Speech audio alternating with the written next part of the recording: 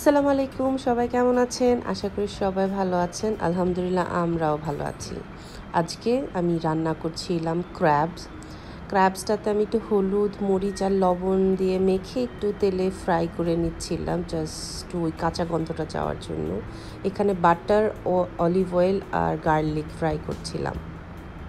চার মিনিটের মতো ফ্রাই করেছিলাম ক্র্যাবটাকে অনিয়ন জিঞ্জার পেঁপে গার্লিককে ফ্রাই করে ওইটার উপরে একটু, আমি, গোলমরিচের গুঁড়া, পেঁপে গুঁড়া দিয়ে দিয়েছিলাম, গোলমরিচের গুঁড়া। গোলমরিচের গুঁড়ার সাথে কিন্তু বাটারের ফ্লেভারটা অনেক ভালো আসে।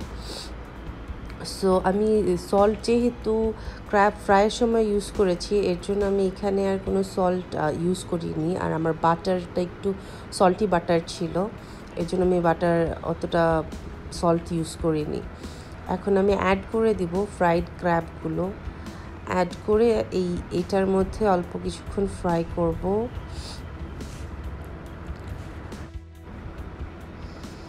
এটাকে এখন ভালো করে ফ্রাই করে আমি one tablespoon lemon juice add করে দিচ্ছি।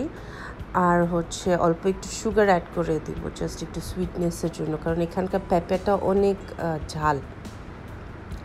এর জন্য আমি ওইটা ইউজ করলাম। এখন আবার একটু ভালো করে নেড়ে চেড়ে সুন্দর করে ওয়ান কাপ অফ ওয়াটার দিয়ে দেব।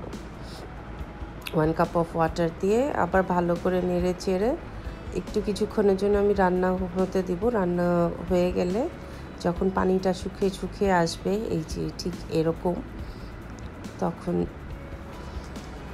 সো আমরা এখন কিছু ধনে পাতা ইউজ করছি just for flavour and garnish বাস হয়ে গেল আমাদের crab Bata garlic crab If you like my videos, please do like my videos, subscribe my channel and please do share with your friends and family. Thank you.